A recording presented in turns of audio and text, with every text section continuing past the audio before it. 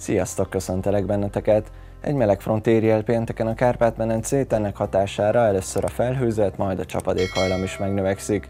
A hétvégén inkább záporos, zivataros jellegű csapadékra kell számítani. Ha megnézitek az előrejelzett nedvességi mezőt, akkor jól láthatjátok, hogy az itt kialakuló ciklon melegfrontja, majd okludál frontja írja el a Kárpát-medencét, ez labilizálja a hétvégén a légkört, és az is jól látható, hogy vasárnap a nap második felétől egyre inkább egy anticiklon peremére kerülünk, ennek hatására pedig a jövő hét elejére megnyugszik a légkör. Az előttünk álló éjszaka a délután képződő gomoly felhők fokozatosan feloszlanak, nagy területen ki fog majd derülni az ég, inkább csak az éjszaka második felétől sodródnak a felhőtömbök nyugat felől a Dunántúl fölé.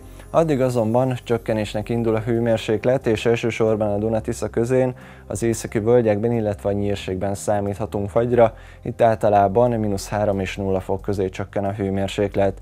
Másút általában 3 és 8 fok között alakulnak majd a minimumok, a legenyhébb hajnalra a Nyugat-Dunántúlon kell készülni, ugyanis itt már megnövekszik a felhőzet. Napközben a felhőzet növekedés tovább fog majd folytatódni, így a gomoly felhős napos időt egyre nagyobb területen fogja majd váltani, erősen felhőségkép. Ezekből a felhőkből elsősorban a késő délutáni koresti órákban számíthatunk kisebb esőre, nagyobb valószínűséggel a Dunántúlnak a nyugati északnyugati részén kell erre majd számítani.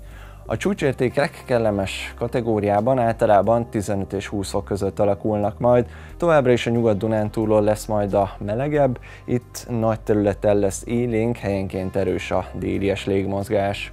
Ahogy már említettem, a hétvégén megnövekszik majd a csapadékhajlam, szorványos jelleggel alakulhatnak ki záporok, zivatarok a térségben, Vasárnap már számosságokat tekintve kicsit kevesebb helyen fordulhatnak majd elő ezek, és inkább záporok lesznek a jellemzőek, és a nap második felétől vasárnap már egyre inkább csökkenni fog a csapadékhajlam. A jövő hét elején pedig kimondottan kellemes idő várható, ekkor már csak egy-egy futózápor alakulhat ki.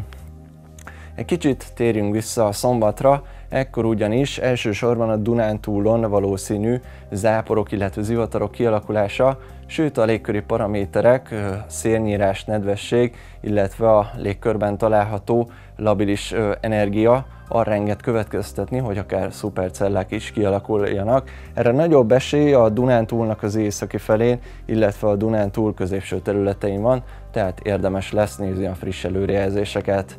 Én ezzel köszönöm szépen a figyelmet, legyen szép napotok, sziasztok!